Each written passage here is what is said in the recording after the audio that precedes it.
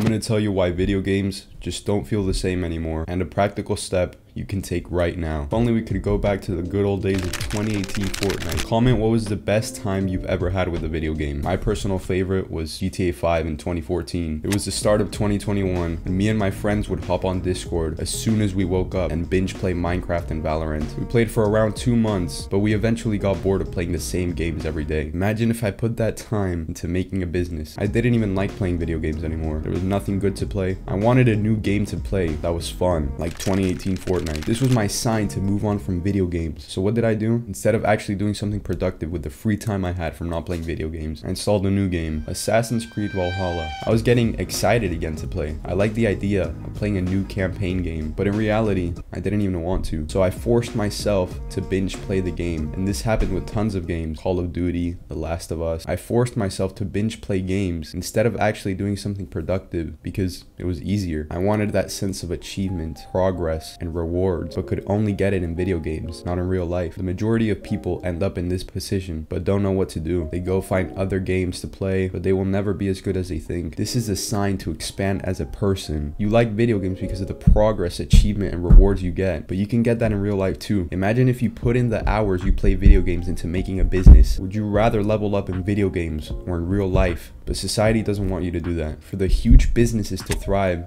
they need everyone to be addicted. Video game companies and Netflix shows know exactly what to do to keep you addicted and rewatching and keep playing. Video games give you exactly what you lack in real life. You lack friends, video games have you covered. You lack rewards, you lack intimacy, video games have you covered. So it's not your fault that you're addicted and still play, but it definitely is your responsibility. I grew up with video games. I loved video games. I still occasionally get the urge to play, but I know that it's not really that enjoyable. I get nostalgic about a game and think about how much fun it would be to play, how good the vibes would be. But in reality, it's not even that fun anymore. The last two months before I quit playing video games, I was forcing myself to play. I didn't want to quit something that brought me so much joy in the past. But when you let go is when you grow. As corny as it sounds, I'm literally playing the game of life, improving strength in the gym, discipline, and money, and I've never been happier. Imagine if you use the time you spend playing video games into making a business or actually doing something productive with your time that helps your future self. Are you going to look back at yourself with regret for spending a thousand hours on Valorant instead of on a business or on your